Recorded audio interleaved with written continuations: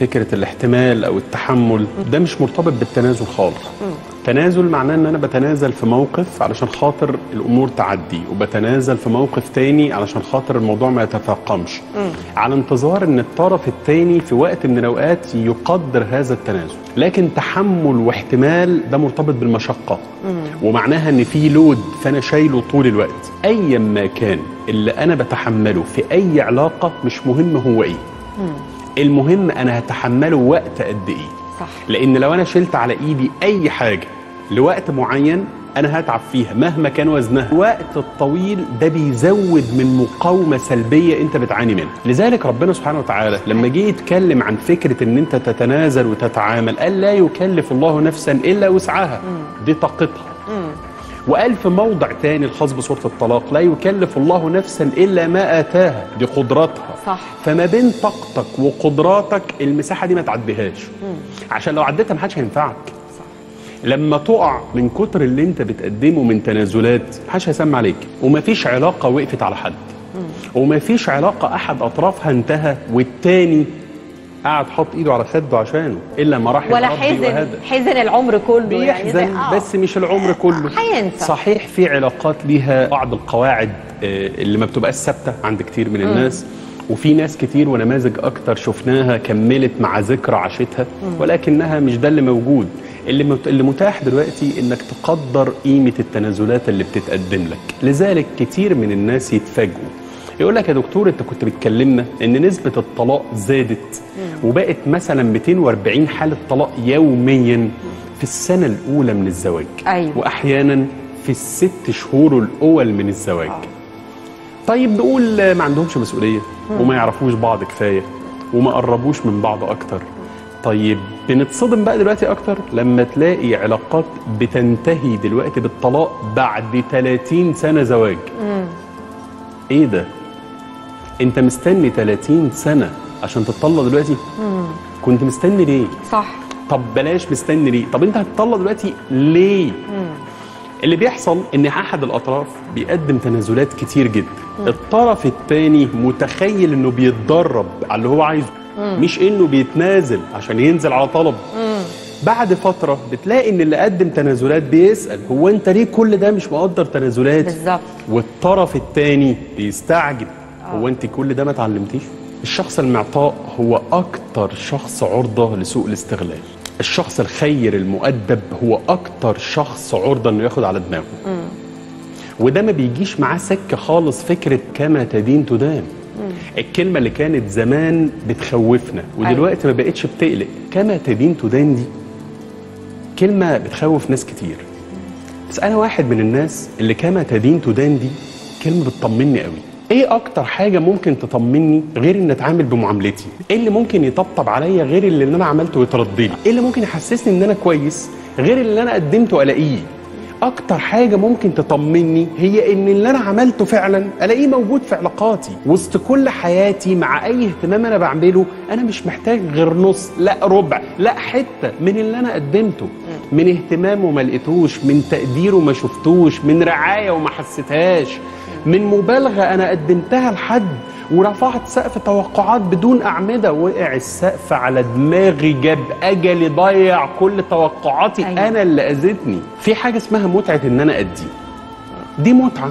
في واحد متعته إنه يبقى مضياف لما بيقوم يقدم لك حاجة ويبقى خير و helpful ولطيف وحد شهم هو حابب كده. أيوة. هو حابب يعمل ده. بس خدي بالك إن كتير من الناس دول بنسميهم عندنا في psychology type A أغلب الناس المعطاءة والخدومة والخيرة والجدعة والشهمه الناس دي بتموت بدري وبتعيا أكتر وبتمر بأزمات نفسية أنت لا تتخيليها.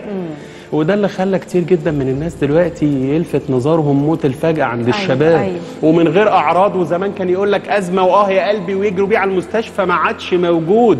دلوقتي خلاص يقول لك كان معانا من ساعات. كنا بنتغدى سوا خلصنا شغل ومروحين. ما بقاش هنا صنائع المعروف تقي مصارع السوء وما فيش حاجة كويسة أنت عملتها مع أي حد في يوم من الأيام مش هتقعد لك. ولو ما تمرتش فيه هي موجودة عند ربك. سبحان لكن الفكرة كلها إن لو بتحب حد وعايز تعطيه فعلا وتهتم بيه وتقدره وتشيله على راسك خلي بالك إن عطائك ومشاعرك زي الدواء. هي ليها دوز. ما تحملش عليه أكتر لأن ممكن ده يأذيه يأذيه إزاي؟ إنه يستغلك فيتحول لشخص مؤذي. وتبقى أنت السبب. صح. لأنك سبت له المساحة كاملة الخمس قواعد في أي علاقة ده هيسمح لينا ببساطة جدا إن إحنا نقلل نزيف التنازلات. ما تكذبش عليا لما أسألك وما تبعدش لما أحتاج لك وما تسرحش بيا لما أسمع لك وما تخنيش لما آمن ليك وما تختفيش لما ما يفضلش غيرك. مفيش أي حاجة في الدنيا مضمونة بما فيها وجودي مع حضرتك دلوقتي. صح. النفس اللي خارج مش مضمون إنه داخل. ولو قلنا إيه الضمانة؟ مفيش ضمانة. الدنيا كلها مش مضمون. كتير من الناس بيقعوا في فخ مش لطيف ابدا. وهو إن ده كويس. الأستاذة دينا كويسة. مش هتدقق على الكلام ده. اهتم بالتانية. اهتم باللي لسانها طويل باللي بتقف على الكلمة باللي بترفع حواجبها باللي ما بتعديش الموقف. باللي نخاف من مشاكلها. دي اللي نهتم بيها ونقدرها ونحترمها وناخدها على جنب. لكن الكويسة المحترمة دي كويسة. مش هتعمل لنا مشاكل دي الكارثة. دي الأزمة اللي إحنا وقعنا فيها. وده اللي إحنا بنعانيه من أيام ما كنا بنتكلم عن التربية الإيجابية. صح. تيجي تقول لك ده أنا ابني ده كذاب وأفاق وبياخد حاجة إخواته ومتعثر دراسيا. طب وابنك التاني يا ست كلها؟ ده كويس. سيبك منه. إحنا سوينا ما بين الكويس والوحش. ده إحنا مش اهتمينا بيه. ده إحنا قللنا من قيمة الكويس جنبه. ده إحنا خلينا الكويس ملوش مكانة جوانا عشان الوحش معاه. رحم الله جد النبي قال إن شر الناس يوم القيامة من يتقيه الناس اتقاء لشره. ده أشر واحد يوم القيامة. مين ده؟ اللي الناس في الدنيا تقول ابعد عنه ده بتاع مشاكل. يعني إذا ما حد اتقال عنه كده اعرف إن ده أشر واحد يوم الدين. فإحنا ما نحبش إن حد يتقال عنه كده. Okay. لكن نحب إن لما تغيب الناس تفتقدك. Okay. ولما تحضر الناس تفرح بوجودك. ولما مرت جنازة على سيدنا النبي عليه أفضل وسأل مستريح أم مستراح منه؟ فسأل الصحابة وما المستريح وما المستراح منه؟ قال إن كان من أهل الصلاح فقد استراح من الدنيا وما فيها. وإن كان من غير ذلك فقد استراحت منه الدنيا بما فيها. أكتر حاجة بتكون مؤلمة هي التوقعات في العلاقات.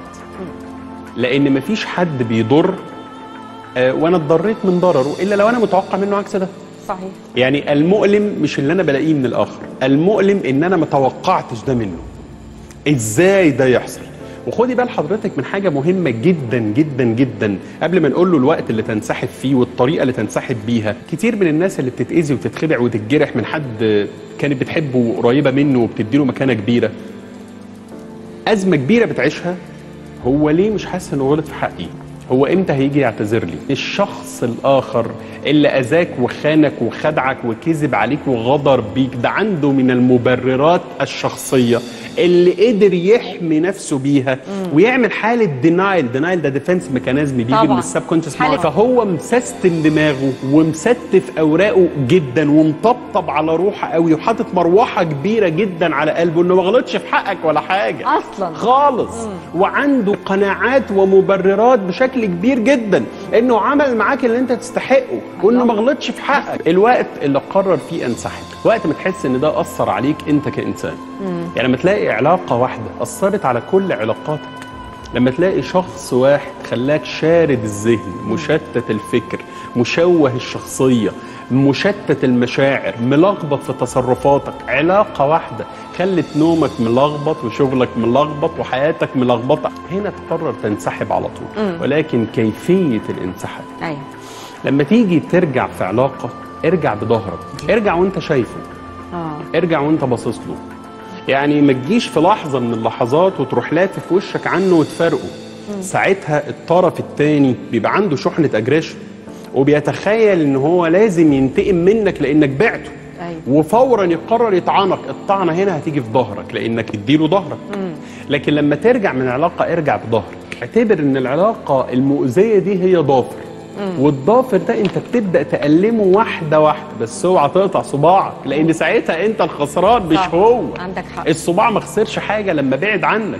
المهم إن وأنت بتألم ضوافرك ما تقطعش صوابعك. والله وجهة نظر تحترم. ستات لما بتحب بتحب بمفهوم ال love obsession يعني إيه love obsession يعني الحب عندها بيبقى شعور أيوة. متكرر وملح ومسيطر ففي الغالب بيكون مش حقيقي. والفرق ما بين الحب والعشق إن الحب عذب لكن العشق عذاب. وفي علاقات إحنا لما بنيجي نتكلم فيها ألبرت باندورا ده أحد أهم الناس اللي اتكلموا في ال social psychology ال social psychology اللي بيحكم العلاقات ما بين الناس. قال إن علاقات الاثنين وإنت بتنسحب تعتمد على شكل علاقات الاثنين. العلاقة الأولى إيه؟ أيوه اتنين عاملين على بعض كده. واحد انسحب التاني يعرف يسند نفسه. والعلاقة التانية تي. واحد انسحب التاني يقع على. وشه. إحنا محتاجين إن العلاقات تبقى إيه؟ إيه, إيه؟ مين اللي قال الكلام ده؟ مش قلب التبندورة لا ده الكلام ده أصلا متاخد من سيدنا الإمام علي. باب مدينة علم رسول الله لما قال أحبب حبيبك. هونا ما. بالراحة. عسى آه. أن يكون بغيضك. يوما ما. يمكن الظروف تضطرك تقلل محبتك. وأبغض بغيضك. هونا ما. لما تكره حد اكرهه بالراحة عسى أن يكون حبيبك يوما ما يمكن الظروف تضطرك. إنك تقرب. إذا بلاش جدا في حياتنا لأن جدا دي مؤذية, مؤذية جدا أوي.